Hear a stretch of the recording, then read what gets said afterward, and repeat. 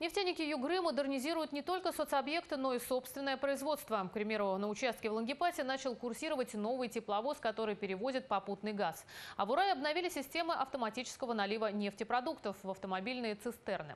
О том, как отразятся новинки на производстве, наш следующий сюжет. Летом к зиме готовят не только сани. В Лангепасе железнодорожники получили новый тепловоз мощностью 2000 лошадиных сил. Он предназначен для перевозки широкой фракции легких углеводородов. Пока новичок в ангаре проходит последнюю подготовку, на путях трудится его старший брат. Тепловоз более ранней версии. Недавно он прошел капитальный ремонт. Весной мы отправили наш тепловоз. Мы ежегодно отправляем по одному тепловозу в ремонт.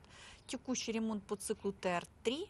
И вот наш 9304 тепловоз пришел с ремонта, готов в зиму в работу. Сейчас мы, он у нас проходит обкатку.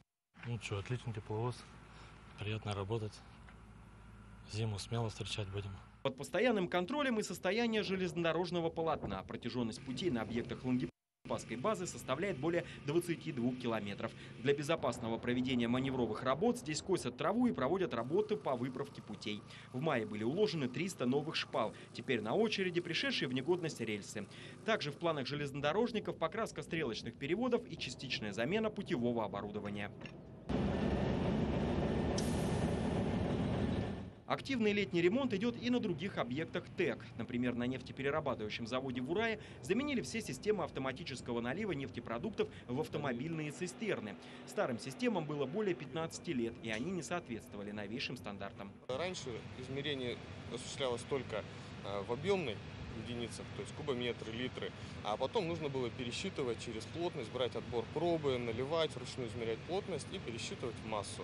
Теперь это делается автоматически. А еще специалисты говорят, что новая установка более безопасна и удобна в обслуживании. На машине имеются лестницы и перекидная площадка, а информация о температуре и плотности нефтепродуктов напрямую поступает оператору. Александр Калачев, Сергей Коробков, телекомпания «Югра» при поддержке телекомпаний «Лонгипас Плюс» и «Спектр».